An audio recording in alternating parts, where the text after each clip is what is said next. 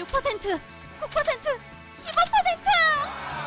15%! 누구나 아무나 인터넷만 된다면 들어와! 각양각색 증권 정보 함께한다 이데일리 온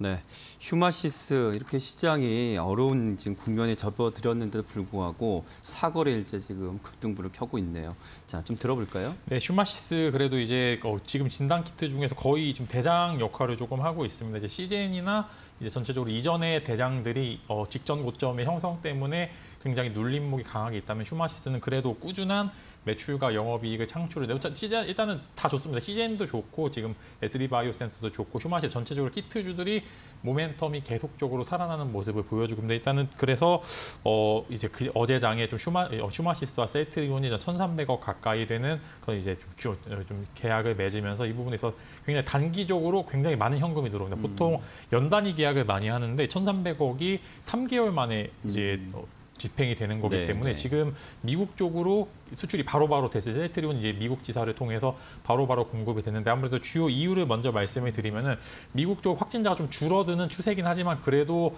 확진자가 60만 명 가까이 이제 매일 나온다는 거는 적어도 검사 수가 이제 몇 천만 명은 돼야지 확진자 수가 이렇게 나오는 모습을 보여주고 있기 때문에 하루에 소비되는 진단 키트량이 굉장히 많다고 좀 보시면 좋을 것 같고 이게 단순히 오미크론이 전, 전체적으로 변이가 추가적으로 있을 수는 없겠지만 그래도 이제 오미크론 바이러스가 많이 좀 퍼지고 있다라는 말씀과 함께 다행인 거는 그래도 치사율이 높지 않다라는 그래도 장점은 있겠지만 그래 일단 검사 수가 아직 늘어났다는 거는 지금 진단 쪽에서 계속적으로 쇼티지가 일어나고 있다라는 말씀 드릴 수 있을 것 같고 일단 오늘 기술적 말씀을 드리면은 그쪽 사실 장이 좀 좋았으면은 충분히 15% 이상의 상승은 어, 보여줄 수 있는 상황이었는데 일단은 지금 이제 강하게 음봉 마무리가 된 모습을 보여주고 있고 지금 주요 매물대를 돌파하는데 거래량이 지금 너무가 없습니다. 좋은 호재에도 거래량이 이렇게 없다는 건 조금 시장이 좋았을 경우에는 정말 이 매물대를 돌파해서 위로 더 갈 수 있는 구간이었지만 좀 안타깝다. 이제 좋은 재료를 정말 가장 좋지 않을 때 나와 나옴으로써 조금